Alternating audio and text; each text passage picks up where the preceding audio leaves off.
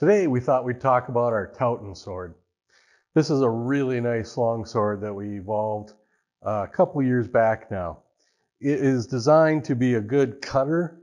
Uh, that was specifically the person that ordered the first one, a reproduction of a piece that we had some documentation on from a private collection.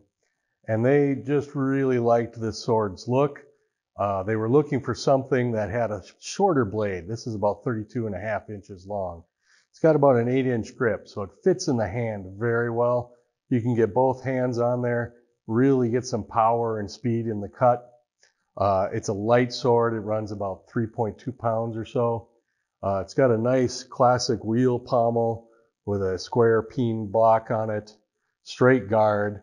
Uh, this piece has the mottled brown grip. You can get a variety of different grip colors when you order it. Uh, it's stitched on the side, really holds together very well. It's a real solid sword and it cuts very, very well. We've had a few people that have actually won some cutting competitions with this particular sword.